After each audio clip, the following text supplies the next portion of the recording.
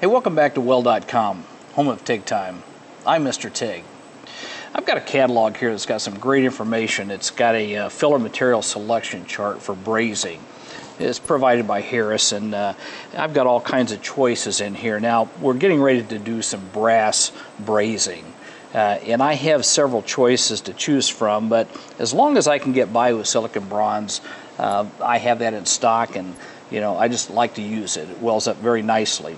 So uh, uh, if you ever needed to get this online, uh, great information. It's free, and I do happen to have silicon bronze. Now again, this material, brass, has a certain amount of zinc in it. So when you go to braze it, you're going to find that it's going to outgas and it's going to smoke and fume.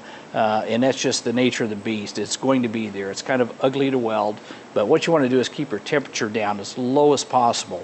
And that's why I use a brazing alloy. We're never going to reach melting temperature of this material. If we do, then it's going to start bubbling and you're going to see porosity and all kinds of things. So this right here melts at a little bit lower temperature than, than the base metal.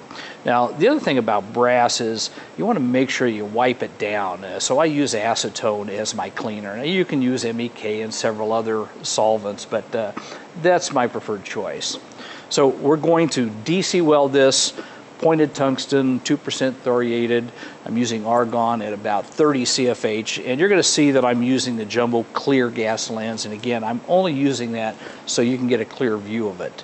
So let me get all my safety gear on and make sure that you have good ventilation when you're welding brass.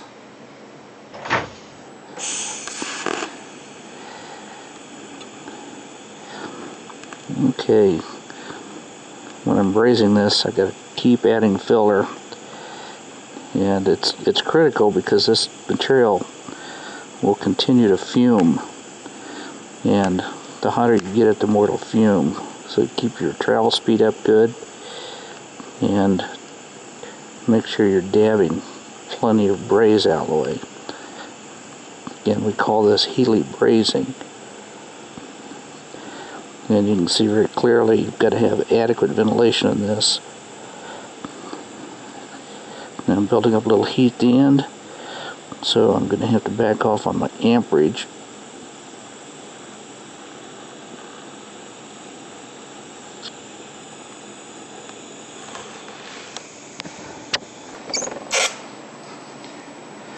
Okay, now that I've brazed up this material brass on brass, just know that it's a lap weld and it's about 16 gauge material. So I can get by using argon gas.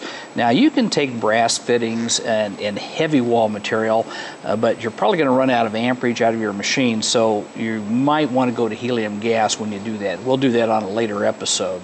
Now also, I can't reiterate enough, make sure you have adequate ventilation just because of the, uh, the outgassing, the smoke that you can see coming off this material and we're in a room where we do have great ventilation. So uh, I want to thank you for watching TIG Time.